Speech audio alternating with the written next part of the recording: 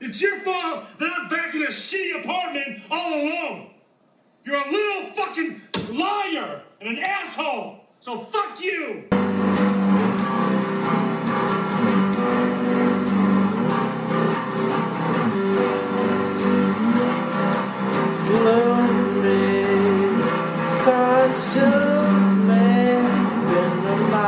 since. Say, don't believe in destiny.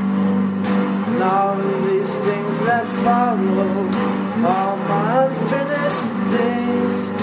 All these finished things, followed by nothing.